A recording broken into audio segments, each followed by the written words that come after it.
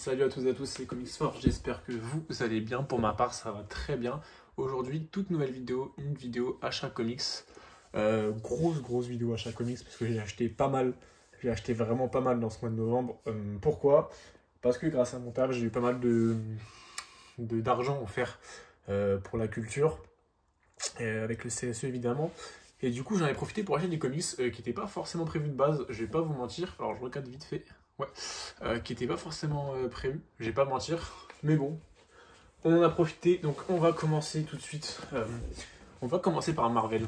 On va commencer par le Marvel, comme ça ce sera fait. Parce que j'ai vraiment pas mal de trucs. On va même commencer par l'occasion.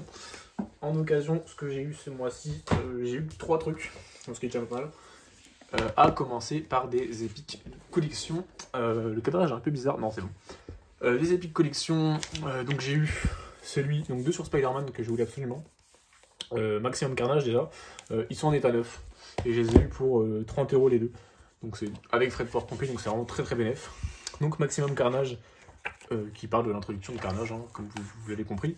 Évidemment, donc c'est l'Epic Collection numéro 22, je pense, 23, 25 donc de l'année 93. donc cette introduction avec les, les Cassadi, donc c'est vraiment un truc qui m'intéresse pas mal. Euh, alors c'est old school évidemment, mais euh, pas tant que ça. 93 honnêtement au niveau des dessins, je trouve ça va. Et euh, voilà, on a tous ces personnages-là, notamment avec Venom aussi qui, intervient. Et j'ai toujours voulu voir vraiment les prémices de ce personnage de, de, Carnage et voir un peu comment il a été créé, comment ça m'intéresse vraiment. J'essaie de me les prendre sur Spider-Man parce que c'est vraiment un personnage qui m'intéresse. Et le format intégral, il y en a beaucoup trop et c'est un peu chiant. Tous ne sont pas disponibles. Et le deuxième, évidemment, c'est la mort du euh, capitaine Stacy. Euh, bon, bah, tout est dit dans le nom. Euh, lui, c'est un peu plus vieux, par contre, c'est la sixième intégrale, enfin, sixième épique collection, donc c'est 70, donc c'est, comme vous le voyez au dessin, beaucoup plus vieux, même si je trouve que ça passe encore. voilà, mort d'un personnage assez emblématique dans l'univers du tisseur, notamment dans ses débuts surtout, parce qu'évidemment, il n'est pas resté très très longtemps, mais qui a marqué le personnage? À sa façon. Donc, l'une des premières morts marquantes du personnage. Euh, donc voilà, c'est assez intéressant. Donc je vais pouvoir me lire ça aussi. Euh, assez content de ces épiques collections. Là, j'en ai qu'un seul, c'est celui sur. Enfin, j'en avais qu'un seul sur la mort. Euh, non, sur le Phoenix, les X-Men. mais je vais essayer d'en prendre de temps en temps, surtout d'occasion. Parce que c'est pas très cher pour ce que c'est. On a quand même une belle qualité d'édition et surtout pas mal de pages pour un prix assez décent, je trouve. donc voilà. Ça, c'était pour les occasions euh, Marvel. Ensuite, j'en ai une deuxième occasion, évidemment. Et c'était aussi du Marvel. Euh, oui, c'est aussi du Marvel, effectivement. Alors, c'est un, omnibus euh, bah, qui encore sous. Qu'il faudrait que j'enlève d'ailleurs. que j'ai enlevé directement même. je l'ai eu. Alors, de base, il est à 90 euros. Dites-moi si je me trompe dans les commentaires. Hein. Il est à 99 euros. 90 euros, excusez-moi. Et je l'ai eu, il me semble, à 65 avec frais de port. Euh, encore Felister, bah, je vous mens pas parce que vous le voyez. Euh, donc cet omnibus sur les euh, Avengers, donc les New Avengers de Brian Michael Bendis. Celui-là j'allais l'acheter dans tous les cas, potentiellement en neuf si je ne trouvais pas d'occasion. Et donc là j'ai eu d'occasion à vraiment pas cher, donc j'ai foncé. Mais bien sûr que j'aime les faire, celui-là c'est vraiment... ouais ça a l'air vraiment super bien. Vraiment vraiment super bien. Euh, c'est sûrement le run le plus mythique, c'est le run le plus mythique sur les Avengers. Euh, il sera en deux parties, donc là c'est la première partie qui est sortie. À 90 euros, il y aura un deuxième omnibus qui va sortir. C'est avec une équipe d'Avengers euh, plus ou moins classique, on va dire. Euh, ouais, plus moins que plus, mais euh, ouais, assez original, mais à la fois avec des, des roues mythiques qu'on retrouve évidemment dedans. Euh, je suis assez impatient de lire ça, franchement, je suis assez impatient. Je vais attendre un petit peu avant de lire parce que j'ai énormément de lectures. Euh, là, si vous voyez ce que j'ai, j'ai littéralement une bibliothèque de 4 cases, voire 5, 5 cases même à lire. À lire, urgent. Enfin, urgent, non, mais vraiment à, lire quoi. Donc c'est hyper compliqué de, de, trouver le temps pour se lire. là, à savoir, je suis en train de lire les deux omnibus de Thor, c'est pour ça qu'il n'y a pas trop vidéos en ce moment.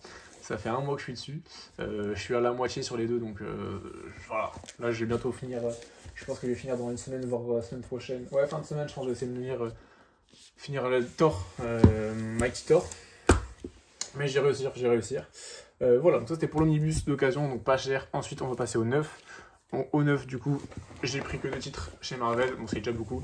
C'est les 200% pour pouvoir terminer le run euh, des Captain America, donc le Captain America euh, Sentinel of Liberty et euh, Symbol of Truth.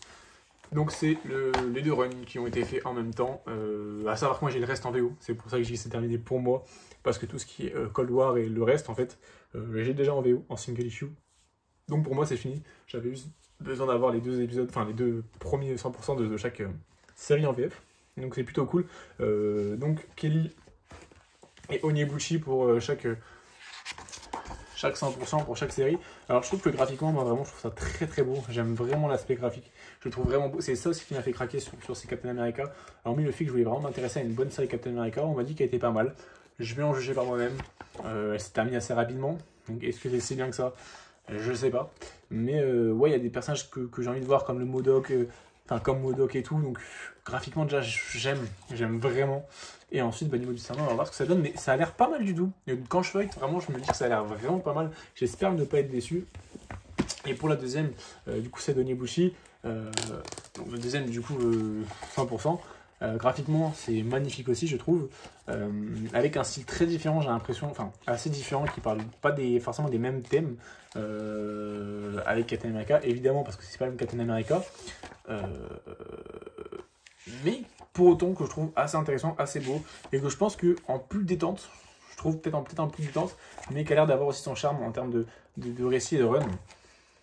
Donc j'aime les, bah, lire en même temps évidemment, mais euh, je suis assez impatient de lire ça honnêtement, ça, ça claque vraiment. Graphiquement ça claque vraiment. Euh, on est vraiment sur, euh, ouais, sur des classiques, des dessins assez modernes, assez, assez, assez dynamiques quoi, mais moi vraiment je kiffe, je kiffe totalement.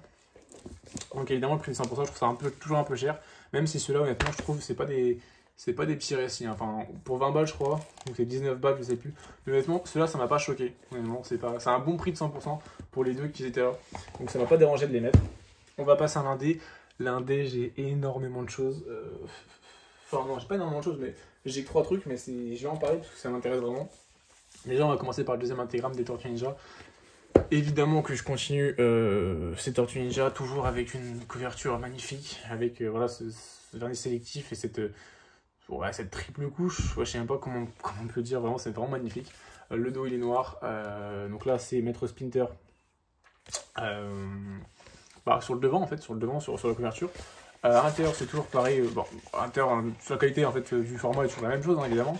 Et on va retrouver à l'intérieur, donc évidemment la série régulière, et on va surtout retrouver les one-shots de plusieurs personnages comme Casey Jones, après l'O'Neill, euh, le Fugitoid, euh, on a qui d'autre? On a euh, Krang, excusez-moi, Baxter Stockman, et on a évidemment l'histoire secrète du clan foot en quatre parties. Donc on a dedans du coup la série régulière qui a à peu près 5-6 numéros, 7 numéros même, et en inter on a les one-shots sur certains vilains, donc les vilains notamment, et deux personnages donc, gentils du coup, euh, de chez euh, TMNT, plus l'histoire du clan foot qui, était, qui est sorti ici à part euh, chez iComics à l'époque, avant les intégrales.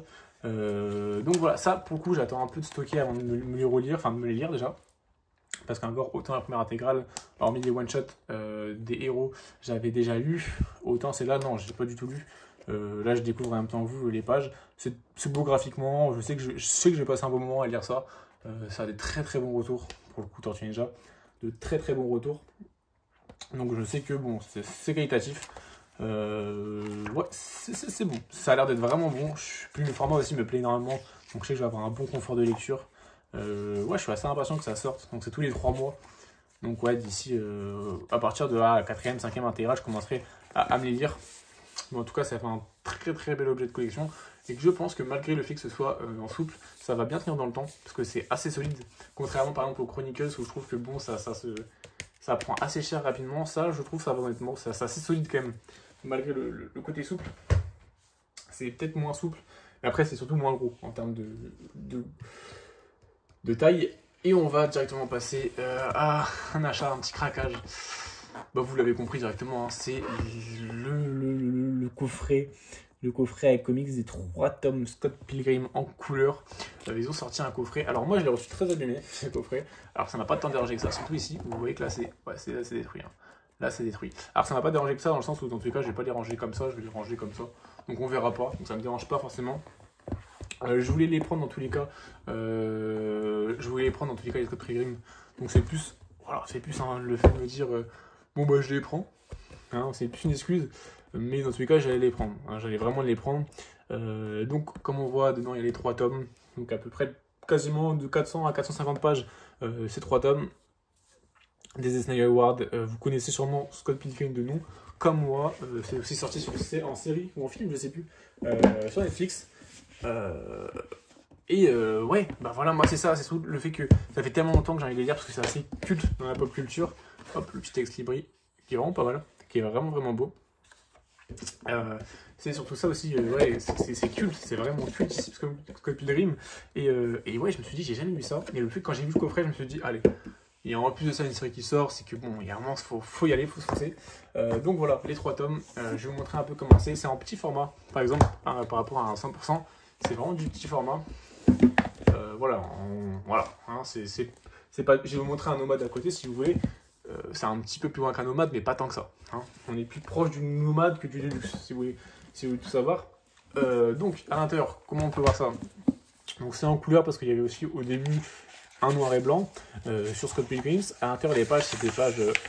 c'est pas des pages d'icons, mais c'est pas du. C'est pas des, du papier glacé, mais ça fait largement le taf. ça a 20 euros le tome à peu près. Ou non, mais peut-être un petit peu plus je crois que c'était 89 euros le coffret. Je sais plus, c'est à peu près, c'était 20-25 euros le tome. Je sais plus tout honnêtement. Euh, donc ouais, donc déjà les covers sont super. Euh, petit format euh, en dur, mais ça passe totalement. Les dessins, au contraire, je pense que ça a été fait pour mettre sur du petit format dans tous les cas. Hein. parce que comme vous voyez, en fait, les dessins sont, très bons sur le petit format.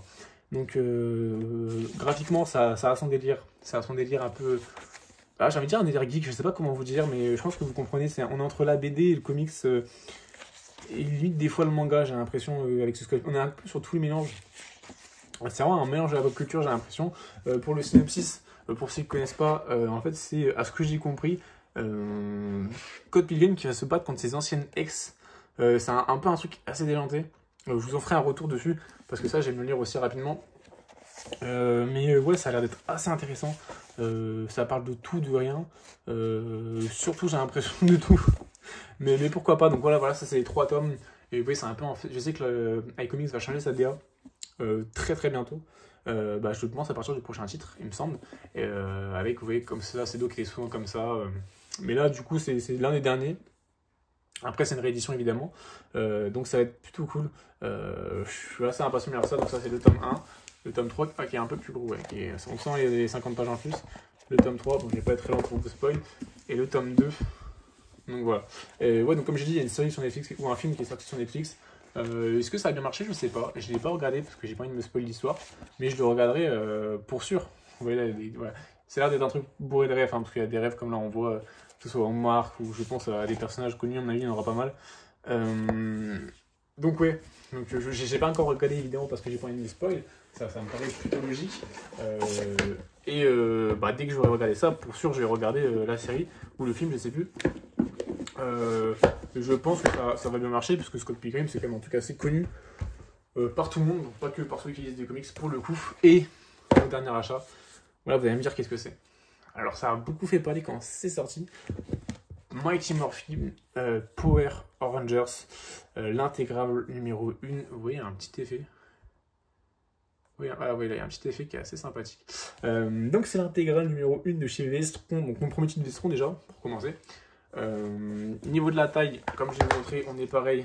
On n'est pas sur du Scott Pilgrim. Euh, si, en fait, on est sur, sur l'occasion même que Scott Pilgrim. Compte. C'est l'intégrale du coup des Power Rangers, euh, une série qui a une qualité apparemment indéniable, euh, dans le sens où tout le monde me dit, tous ceux qui disent me disent que c'est vraiment bien. Donc, grosse qualité sur cette série-là.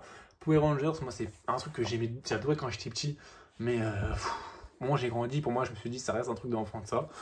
Euh, apparemment non, parce que c'est vraiment aimé par les gens. Ils ont fait vraiment un vrai lore, une vraie histoire autour des Power Rangers. Donc pourquoi pas, j'ai envie de vous dire, moi, allez, je me laisse tenter. Euh, Sky Liggins au scénario, notamment par celui qui a écrit Radiant Black. Donc là, je pense que vous allez tout de suite comprendre euh, que bon, on n'est plus sur forcément un truc d'adolescent. Et voilà, en fait, c'est du coup l'intégrale. Ils reprennent ce qui a été publié chez, euh, c'était Glénat à l'époque, et ils vont tout refaire euh, au propre avec ces intégrales qui vont sortir au fur et à mesure. Donc j'espère que ça va bien sortir et que ça va pas s'arrêter au cours de route. Mais je pense pas. Donc du coup, on est sur des, un plus petit format comme vous voyez. Euh, graphiquement, c'est plutôt beau. ouais, c'est joli. C'est joli. À l'intérieur, on a une sorte. Alors, on a un liseré qui est collé.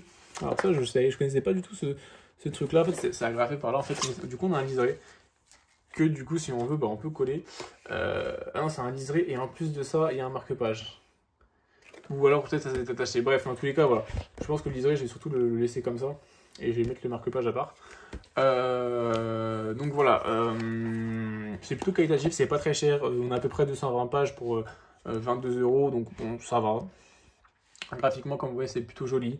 et ouais, bah, j'ai surtout m'intéresser un peu à ce lore des Power Rangers. Je vais tenter, je suis pas directement sûr d'aimer.